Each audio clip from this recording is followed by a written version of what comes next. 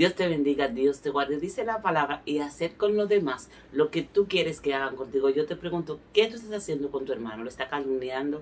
¿Está chimeando? ¿Le está, como decimos acá en República Dominicana, echando el palo? Porque te tengo un detalle. Eso mismo harán contigo. Así que haz el bien y preocúpate que el bien volverá a ti en el nombre de Jesús. Bendiciones.